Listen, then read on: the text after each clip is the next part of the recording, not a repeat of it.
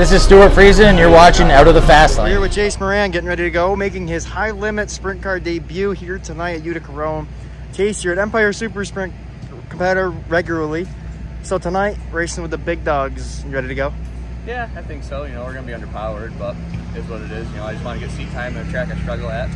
Try to put it in the show. If we do, great. If not, you know, we learn. Is there any nerves going into racing with the high limits tonight at all?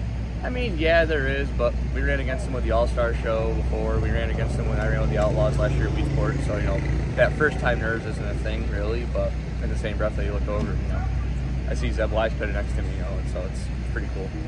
So racing against Brad Sweet and all these guys tonight, what are you what are you looking to learn out of this getting to race with these guys? just seeing how they control the race car mainly, like you know, and seeing setup wise, like how much drastically it looks different.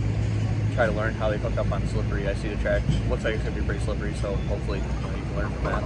Absolutely. Now racing Empire Super Sprints full time this year. How's Well, your season? Actually, going? we're not gonna run the Empire Super Sprints this year. We just decided the other day we're actually gonna run with the Sprint Cars New England Okay. series. Just we got some conflicts we can't commit to the whole ESS tour, so we're gonna run with uh, the Scone, and then we're gonna run ESS fill-in, and I want to travel some. You know, I want to run, try to run some Ohio stuff, try to run URC stuff, and I want to run the race at Bridgeport for sure. I love that place. So, but mainly just go have fun and try to race for championship with Scone and run as many local ESS shows as I can. Now Utica Rome hasn't always been the greatest to you in the past.